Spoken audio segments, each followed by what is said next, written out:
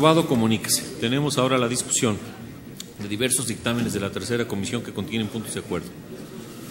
Relativo a la Compañía Mexicana de Aviación, otro más por el que se cita comparecer al jefe de la Unidad de Banca de Desarrollo de la Secretaría de Hacienda y Crédito Público, al director general del Instituto Mexicano del Seguro Social y al titular de la Sociedad Hipotecaria General, por el que se solicite un informe sobre la situación y acciones realizadas relativas a la comercializadora de servicio y valor Sociedad Anónima de Capital Variable y por el que se solicita un informe de las razones por las cuales no se ha estimado procedente suscribir el convenio 138 de la Organización Internacional de Trabajo sobre edad mínima de admisión al empleo.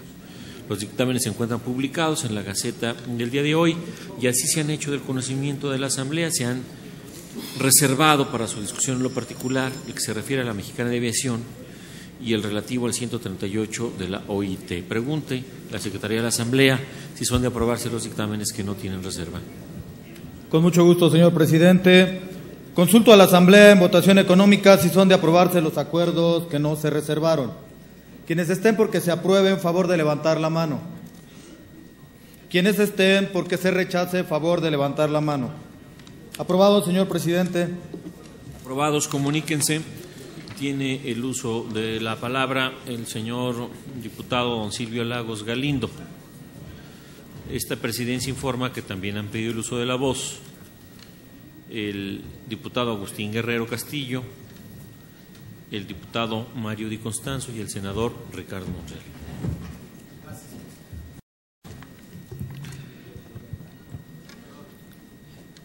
Compañeros, lo- el dictamen que la tercera Perdón, comisión el diputado Penchina también.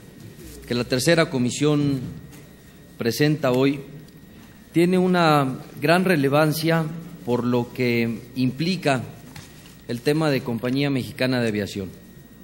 Estamos convencidos, y se pudo discutir el día de ayer, que el tema de los usuarios es un tema fundamental y el cual nosotros debemos darles la certeza a todos los usuarios de que estaremos atentos a los diferentes hechos que se den como resultado de este proceso de concurso mercantil y que hoy en un medio de comunicación aparece que ya hay una empresa interesada en aportar recursos bajo una nueva denominación o razón social.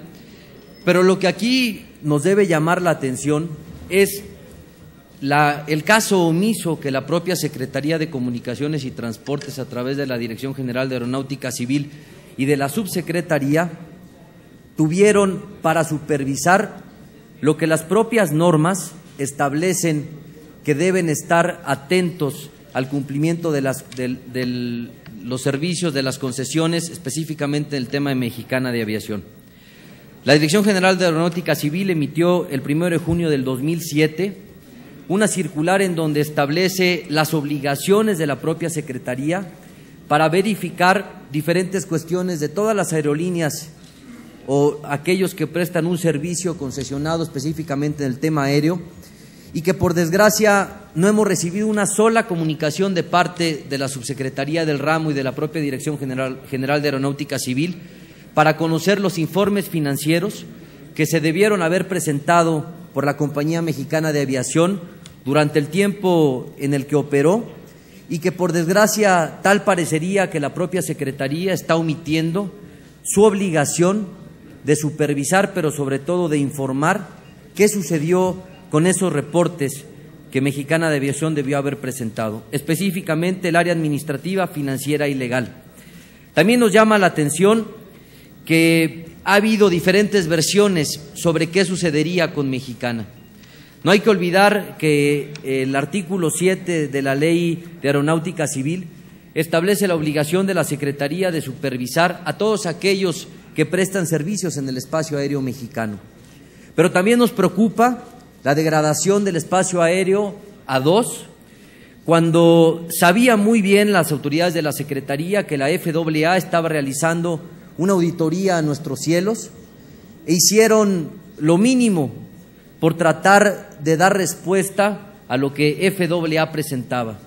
Y la degradación es un tema lamentable para todos, pero más lamentable es que hoy estamos enfrentando una situación de una compañía que era un orgullo de nuestro país, una compañía que por 89 años fue, eh, por su propio nombre, reconocido a nivel mundial y que hoy 8 mil trabajadores, hoy muchos turistas están en diferentes partes del mundo a los que Mexicana tenía destinos, están sin que nadie pueda darle respuesta cuándo regresarán a nuestro país. Y lo más delicado, hoy ya los destinos nacionales tampoco tienen vuelos de Mexicana.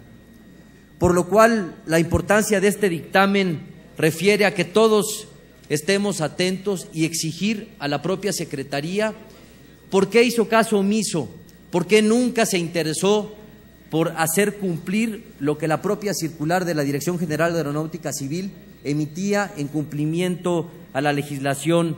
Y de esta manera nosotros queremos conocer qué es lo que están haciendo. No hay que olvidar que el servicio que presta Mexicana es una concesión de un servicio público y por lo tanto debe ser supervisado.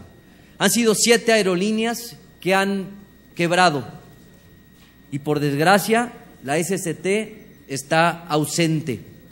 Cuando la circular en mención fue emitida, estaba el anterior director general de Aeronáutica Civil, que después fue destituido, y después fue enviado a otro cargo y después fue renunciado. El director del CNEAM, lo mismo. Y lo más de verdad, lo más preocupante, no podemos permitir que nuestro espacio aéreo, por falta de atención de las autoridades, sea operado por aerolíneas distintas a nuestro país. Hablan ya de financiamientos húmedos, que es que tengan tripulación americana, tanto pilotos como sobrecargos. ¿Qué ha pasado con nuestros pilotos y con nuestras sobrecargos de todas las aerolíneas? ¿Qué ha pasado en el caso de las siete aerolíneas que ya tronaron? ¿Cuál es la postura de la Secretaría en el caso del concurso mercantil? Pero sobre todo queremos escuchar del director general de Aeronáutica Civil y del propio subsecretario hacia dónde quieren llevar la política aeronáutica. Y con esto quiero concluir. Existe un acuerdo denominado BASA que es para la seguridad del espacio aéreo. Este acuerdo va relacionado en el tema de la operación con la degradación a dos del espacio aéreo mexicano.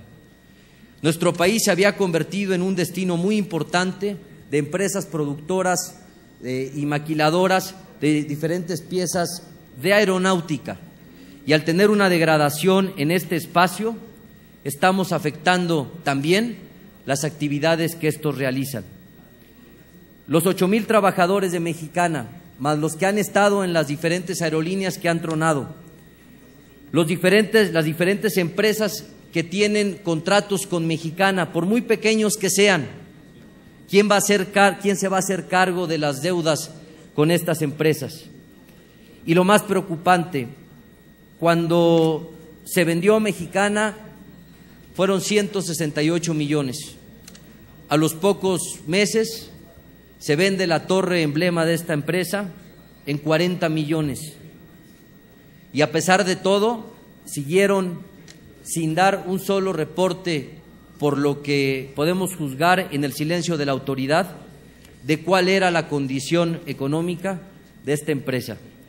Creo que es momento con este, con este dictamen de que exhortemos a la autoridad a que se vuelva seria en el tema de política aeronáutica, que se vuelva seria en el tratamiento específico del caso de Mexicana.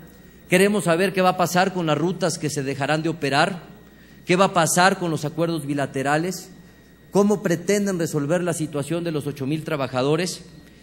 Pero creo que para la Secretaría especialmente para el director general de Aeronáutica Civil y para el subsecretario, no saben, efectivamente, no saben y lo más preocupante, no le interesa defender una industria que es orgullosamente mexicana. Es cuanto, presidente.